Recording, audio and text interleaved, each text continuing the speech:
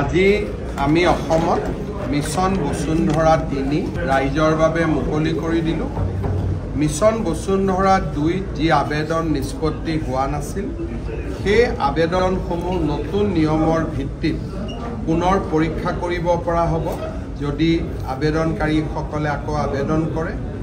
ইয়াৰ লগত নামঘৰ সত্ৰ বিদ্যালয় ধৰ্মীয় অনুষ্ঠানসমূহক অত্যন্ত কম প্ৰিমিয়ামত মাটিৰ বন্দবস্তি কৰাৰ প্ৰচেষ্টা কৰা হ'ব।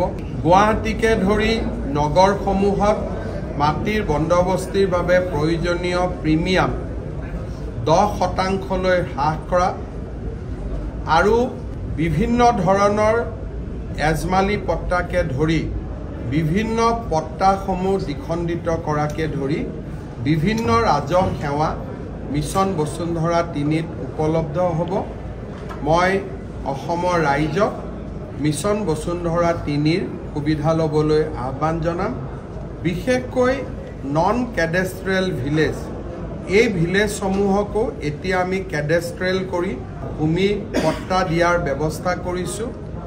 এই সুবিধাসমূহে অসমৰ ৰাজহ ব্যৱস্থাটো অত্যাধুনিক আৰু সময় উপযোগী কৰি গঢ়ি তুলিব।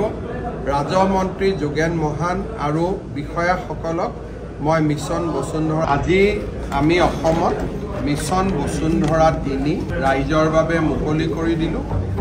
মিছন বসুন্ধৰা দুই যি আবেদন নিষ্পত্তি হোৱা নাছিল সেই আবেদনসমূহ নতুন নিয়মৰ ভিত্তিত পুনৰ পৰীক্ষা কৰিব পৰা হ'ব। যদি আবেদনকাৰীসকলে আকৌ আবেদন কৰে ইয়াৰ লগত নামঘৰ সত্ৰ বিদ্যালয় ধৰ্মীয় অনুষ্ঠানসমূহক অত্যন্ত কম প্ৰিমিয়ামত মাটিৰ বন্দবস্তি কৰাৰ প্ৰচেষ্টা কৰা হ'ব।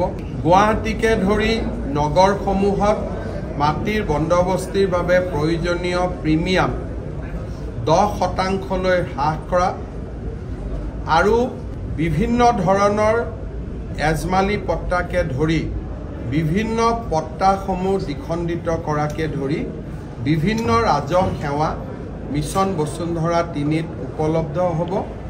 মই অসমৰ ৰাইজক মিছন বসুন্ধৰা তিনিৰ সুবিধা ল'বলৈ আহ্বান জনাম। বিশেষকৈ নন কেডেষ্ট্ৰেল ভিলেজ।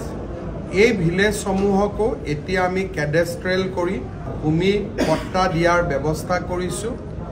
এই সুবিধাসমূহে অসমৰ ৰাজহ ব্যৱস্থাটো অত্যাধুনিক আৰু সময় উপযোগী কৰি গঢ়ি তুলিব।